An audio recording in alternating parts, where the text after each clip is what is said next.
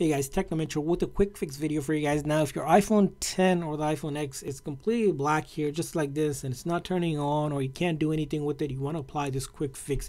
First thing is you're going to locate the volume up and volume down button. We're going to press and release the volume up, press and release the volume down button, and then finally come over to the right hand side and hold this big side button until you can see Apple logo appear. So I'm going to do volume up, volume down quickly, and then I come over to this side and keep on holding that big side button. And we're going to see if we can get the Apple logo to appear. And if it does that's great. Now phone should be turning on normally. Again make sure you press volume up and volume down one after another quickly before holding on to that side button.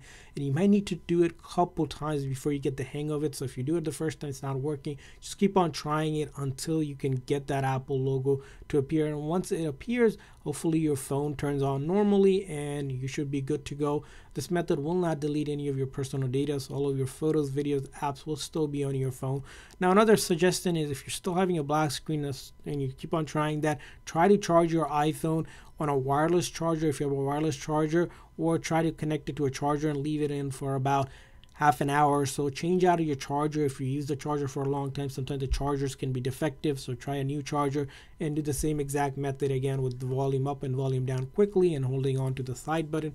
Hopefully it fixes your iphone 10 from having a black screen to getting back and turning on. And i hope this video is helpful. So please consider that like and subscribe button for more tips and tricks for your iphone and other ios devices. See you guys next time